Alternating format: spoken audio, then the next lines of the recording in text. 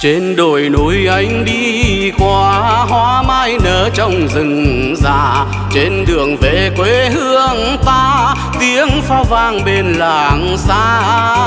À, bóng cây nêu đầu đỉnh thuở xa xôi.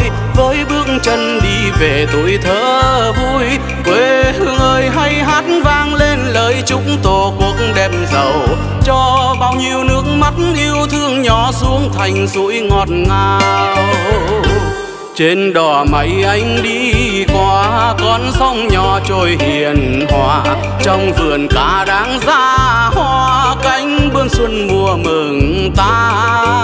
À, tiếng du chưa theo ngọn cỏ đông đưa hỡi cô em láng giềng thuở xa xưa. Đầy nhang thơm với nến yêu thương hãy thắp từng năm mùa sầu cho mai đây ta hát reo vui mừng sống lại những ngày đau chờ giang đông đêm dài Việt Nam, chờ bình minh trong hồn rực sáng. Chim chóc về nở muôn đóa hoa, đồng lúa chín mừng anh em. Mừng đất nước qua rồi đêm đen. Trên đồng lúa anh đi, qua bóng trâu xanh vui ngoài đồng trên đường phố anh đi qua có ấm mới tươi bên đời ta.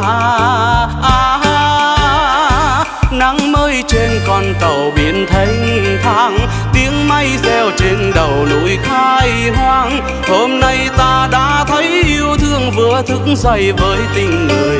Hôm nay ta đã thấy quê hương đổ nát rừng sáng mặt trời.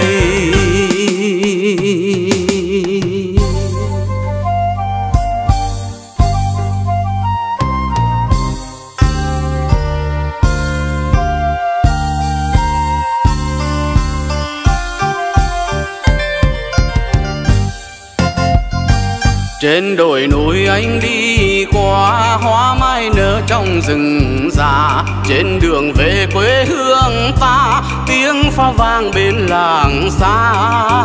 À, bóng cây nêu đầu đỉnh thổ xa xôi với bước chân đi về tuổi thơ vui.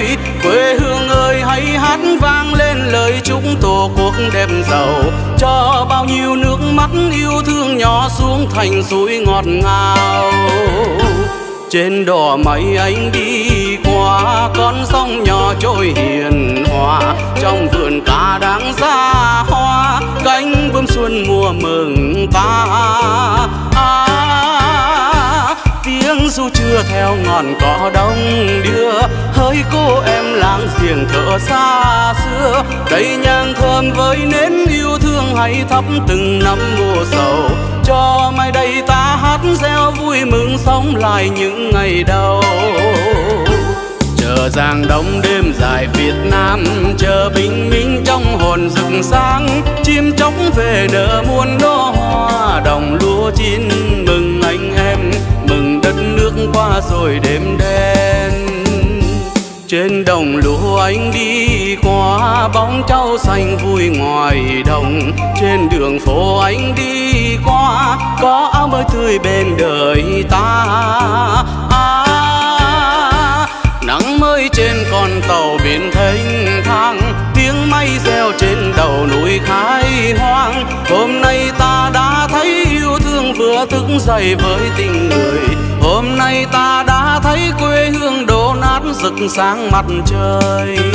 Hôm nay ta đã thấy quê hương đổ nát rực sáng mặt